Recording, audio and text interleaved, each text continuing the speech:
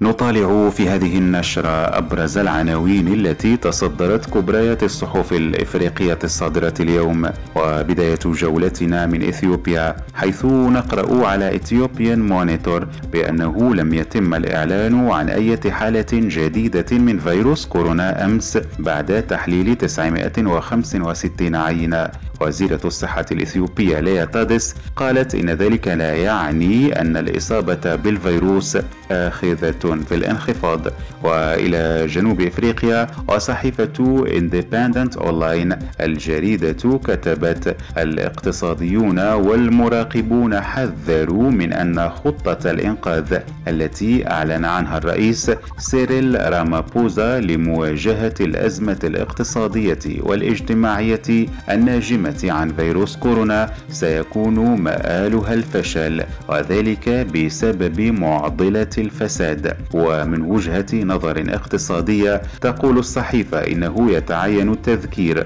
بأن الفساد يعم أجهزة الدولة على نطاق واسع. وإلى السنغال وجريدة لو سولاي الوضع في غينيا بيساو مثار اهتمام المجموعة الاقتصادية لدول غرب إفريقيا الصحيفة كتبت أنه بعد مرور أربعة أشهر من الجمود الذي أعقب الانتخابات في غينيا بيساو اعترفت المجموعة الاقتصادية لدول غرب إفريقيا بأومارو سيسوكو إمبالو رئيسا للبلاد. ومنذ الجولة الثانية من الانتخابات الرئاسية التي جرت في التاسع والعشرين من دجنبر الماضي وصلت البلاد إلى طريق مسدود بعد أن تشبث منافس إمبالو دومينغوس بيريرا زعيم الحزب التاريخي بفوزه في هذه الانتخابات. وإلى محطتنا الأخيرة من الكونغو الديمقراطية فوروم ديزاس قالت إن الجمعية الوطنية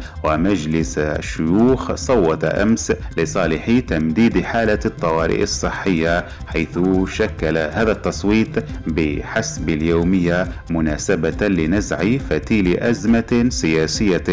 داخل الائتلاف الحاكم. الصحيفة أوضحت أن هذا التصويت وضع حدا للأزمة السياسية الصعبة داخل الائتلاف الحاكم الذي يضم مقربين من الرئيس فيليكس تشيسيكيدي وأنصار سلفه جوزيف كابيلا الذي لا يزال يتوفر على الأغلبية في البرلمان.